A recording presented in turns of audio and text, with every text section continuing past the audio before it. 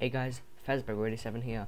I'm back with a new video. Um, this is gonna be a quick one. This isn't actually like a, this is a War Thunder video, but like it's not actually, like, grinding or anything. We're not doing any countries and stuff. All I'm gonna be showing you today is a Stuka dive bomber bombing, and it actually does crash. I made this with the AI vehicles and custom battles, and I'm with myself with the Stuka dive bomber with a 1,000 kilo bomb.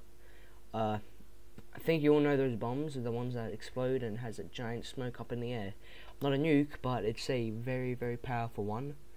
Um, but yeah, so and the um, I am slowly up to making this L3 versus Tiger video, which me, me and my friend made in War Thunder. So I'll be posting that soon, hopefully.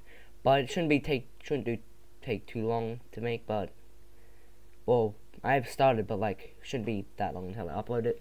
But yeah, I'm just gonna get you onto the video now. It's a black and white video, just like the World War Two. It's not. I don't think this is a World War Two map, but yeah. All right, guys. Um, uh, see you in the video. Even though I'll be talking in the video, but yeah, let's go.